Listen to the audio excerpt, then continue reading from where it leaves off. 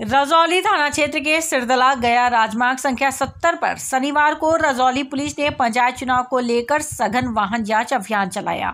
रजौली थाना अध्यक्ष इंस्पेक्टर दरबारी चौधरी ने बताया कि त्रिस्तरीय पंचायत चुनाव को लेकर रजौली थाना क्षेत्र के विभिन्न मोड़ पर वाहन जाँच अभियान चलाया जा रहा है। शनिवार को सिरदला रोड में एसआई सुरेंद्र सिंह और एसआई धीरज कुमार सिंह के नेतृत्व में पुलिस बल के सहयोग से चार पहिया वाहन एवं मोटरसाइकिल की सघन जाँच की गई।